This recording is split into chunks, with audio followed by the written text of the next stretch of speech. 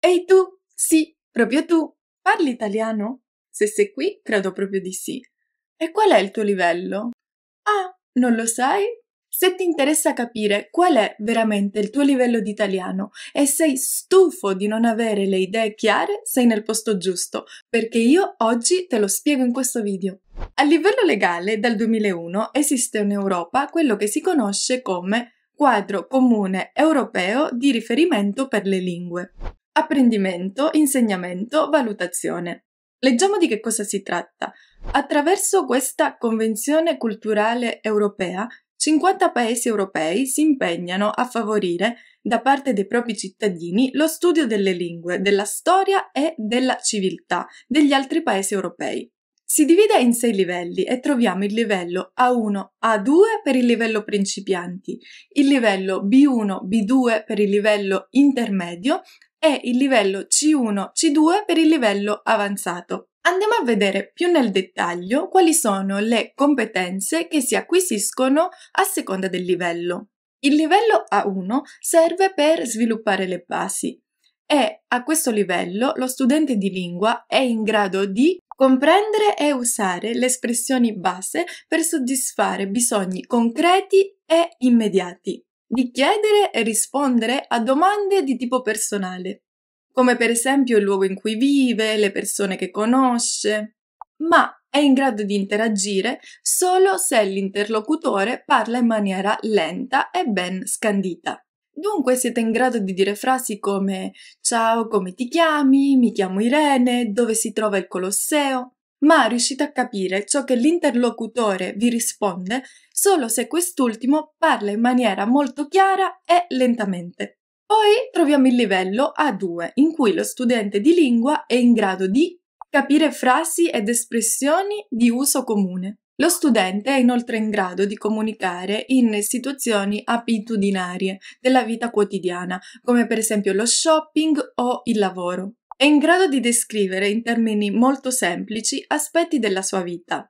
Per esempio, riuscite a descrivere un po' la vostra famiglia, a chiedere il prezzo della merce in un negozio, ma il problema è che ci sono ancora delle difficoltà nel comprendere ciò che l'interlocutore dice. Poi si passa al livello intermedio in cui lo studente inizia ad essere indipendente. A livello B1 lo studente di lingua è in grado di comprendere i punti chiave di un discorso chiaro, soprattutto per quanto riguarda argomenti familiari come la famiglia, il lavoro, la scuola. È inoltre in grado di affrontare situazioni di viaggio nel paese in cui si parla quella determinata lingua.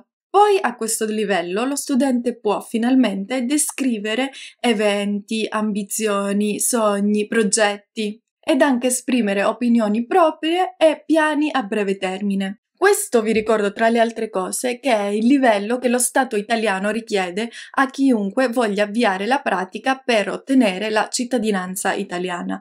Dunque, se questo è ciò che vi interessa, concentratevi nel raggiungere almeno questo livello. Il livello successivo è poi il B2, in cui lo studente di lingua è in grado di comprendere punti chiave di un discorso anche complesso e che non riguardi soltanto temi concreti, ma anche finalmente temi astratti. Per esempio, finalmente lo studente riesce anche ad entrare in temi un po' più tecnici che riguardano il suo campo di specializzazione. Raggiunto questo livello, lo studente è inoltre in grado di affrontare anche una conversazione in maniera fluida e spontanea con un interlocutore madrelingua. È in grado poi di produrre testi dettagliati che affrontano una tematica precisa da diversi punti di vista, analizzandone i vantaggi e gli svantaggi. Con il B2 avete raggiunto un livello ottimo in quella determinata lingua. Ovviamente commettete ancora degli errori, come è normale che sia, ma siete spontanei, non avete alcuna difficoltà nel parlare, siete a vostro agio. E ricordatevi che ottenere un B2 è importante se è nel vostro interesse immatricolarvi in una università italiana, per esempio, perché con il B1 il B2 è il livello richiesto dai vari enti universitari affinché possiate studiare in quel determinato ateneo. Infine troviamo il livello C, C1 e C2, in cui siete dei veri e propri esperti in quella determinata lingua. Lo studente, raggiunto il livello C1, è infatti in grado di comprendere frasi lunghe e complesse e riconoscerne i significati impliciti. Riuscire a parlare in maniera fluida, spontanea, senza dover pensare troppo a ciò che sta dicendo. Raggiunto questo livello, lo studente è inoltre in grado di utilizzare questa determinata lingua in maniera flessibile affinché risponda ai suoi bisogni scolastici, accademici, lavorativi. È inoltre in grado di produrre testi molto articolati, coerenti e ben organizzati. Infine abbiamo il livello C2 in cui si viene considerati dei veri e propri esperti in quella determinata lingua. Raggiunto questo livello, lo studente è in grado di comprendere senza alcuna difficoltà tutto ciò che si dice in quella lingua.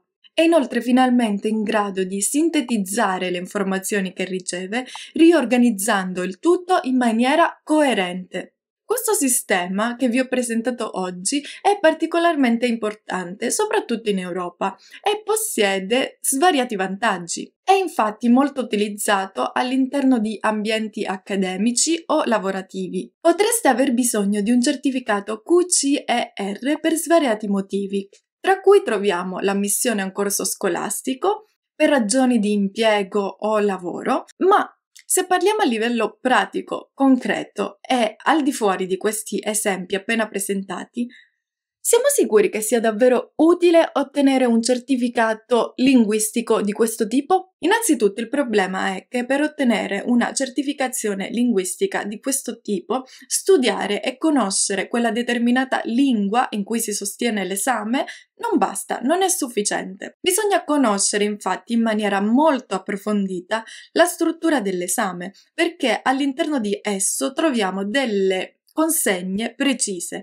che se non conosciamo bene non riusciamo ad affrontare e soprattutto non riusciamo ad affrontare nel tempo prestabilito e dato il giorno dell'esame. È inoltre consigliabile utilizzare termini, strutture grammaticali che in qualche modo ci aiutino nell'ottenere punteggio per superare quella determinata prova. Se anche parlaste italiano benissimo, vi potrebbe risultare molto complesso svolgere questi esercizi in questo determinato modo e potreste non ottenere il punteggio necessario per superare l'esame. Pensate per esempio a un altro esempio pratico, ovvero l'esame di guida. Per poter superare l'esame di guida, almeno in Italia, per quello che so io, non basta saper guidare. Ecco, con le lingue e con le certificazioni linguistiche succede un po' la stessa cosa. Inoltre, l'intera conoscenza che voi avete di quella determinata lingua viene giudicata sulla base di una performance, di un giorno, di poche ore. E questo non so per voi, ma per me risulta particolarmente stressante. Dunque, a meno che non abbiate bisogno a livello accademico, lavorativo o per mm, interesse personale, il mio consiglio è di non valutare in questo modo la vostra conoscenza dell'italiano, ma se questo metodo non funziona nel valutare il livello raggiunto nello studio di una determinata lingua, che cosa possiamo fare? Beh, come sempre il mio consiglio è cercare di cambiare punto di vista e non andare alla ricerca del livello raggiunto in quella determinata lingua, ma tornare a chiederci perché abbiamo iniziato a studiarla, perché la studiamo ogni giorno, qual è il nostro obiettivo e soprattutto in quale situazione vogliamo essere sicuri di saper e poter utilizzare quella determinata lingua. Se il vostro obiettivo è parlare, Fatelo, iniziate a farlo da subito e soprattutto chiedetevi in quale contesto sentite la necessità o la voglia di poter riuscire a parlare. Non è lo stesso infatti dover parlare italiano a livello lavorativo e farlo invece in maniera amichevole, per esempio, all'interno di un bar. In sintesi dobbiamo selezionare ciò a cui dedichiamo la nostra attenzione. Il tempo che abbiamo a disposizione quando apprendiamo una lingua straniera non è infatti purtroppo infinito, quindi è meglio se concentriamo la nostra attenzione e impariamo i termini, le strutture, il vocabolario relativo all'ambito che veramente ci interessa. Un esame per poter parlare non basta. Come sempre vi chiedo di iscrivervi al canale, lasciare un mi piace, un commento e fatemi sapere in caso abbiate bisogno di altri chiarimenti sul tema. Come sempre, un bacio alla prossima!